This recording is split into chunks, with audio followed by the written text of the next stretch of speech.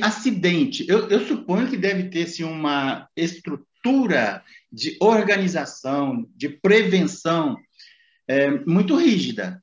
A gente faz um treinamento pré-antártico, né? Então, a princípio, a gente já toma contato com é, as vestimentas, são vestimentas é, é para o frio, mas não só para o frio. Então, a gente, por exemplo, a gente faz, eu fazia muita coleta com os botes, né? Então, a gente usa um macacão, que é o Mustang, que além de proteger a gente do frio, ele é flutuante. Então, a gente tem que também é, é, tá, mas assim, a gente está num ambiente extremamente frio, então o ideal é a gente tomar todos os cuidados, né, os procedimentos de segurança. Então, tem, tem limites de vento, tem a, os, a gente tem tem que tomar todos os cuidados para não para evitar acidentes, enfim, isso a gente está sempre atento mesmo. E, e a, o, é o, macacão ele é desconfortável, assim, ele, ele limita a movimentação ou é tranquilo?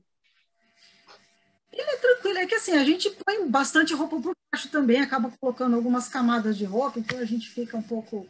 É, mas dá para trabalhar, assim, o que incomoda às vezes um pouco mais são as mãos, quando a gente trabalha com amostras mais molhadas, porque vai molhando e acaba, né, é, sentindo aquele frio, mas é, na rotina, no final, assim, no começo, tirando aquele momento inicial do choque, assim, a gente vai se habituando com o frio, né, e aí a gente acaba é, se acostumando. Ok. Ô, Cris, e qual foi a metodologia é, que você utilizou? É, a gente, na época, eu, eu, fiz, bom, a gente fazia coletas de sedimento, então a gente coletava com dragas, né, a partir de, de, de embarcações da estação mesmo, é, e depois a gente, esse, esse material era transportado é, para o laboratório, lá na estação, então a gente fez a extração do DNA desse sedimento, e aí a gente usou técnicas que a gente chama de fingerprinting, que são técnicas que permitem que a gente tenha um perfil mais ou menos, no caso são bandas, né, acaba gerando quase como se fosse né, um código de barra, vamos dizer assim, e que cada, cada, dependendo da diversidade, essa combinação das bandas vai ser diferente. Então a gente consegue fazer uma comparação entre essas diferentes comunidades microbianas. E a gente fez também é o sequenciamento, né, para poder ter uma noção dos grupos microbianos presentes lá, então, de, de, de bactérias é, e de arqueias, na verdade. Então, em paralelo, tá, tá, é, granulometria, testes físico-químicos, é, e o fluxo de metano pela. A gente colocava as cúpulas, né, umas cúpulas de PVC na superfície da água. De tempos em tempos, a gente coletava amostras da atmosfera de dentro dessa cúpula isso foi trazido para o Brasil e analisado lá no INPE, eles fizeram a, a, quantificação do metano nessas amostras, e aí a gente vai, ao longo do tempo, se aumenta a concentração, o fluxo é positivo, é do oceano para a atmosfera, ou se ele, com o tempo, diminui, ao contrário, né, ele passa a ser negativo da atmosfera para o oceano. Poderia ser neutro também, mas a gente não encontrou nenhum fluxo neutro. Bom, Cris, e antes, é, quando chegaram as primeiras estações lá, é, não havia tratamento dos efluentes?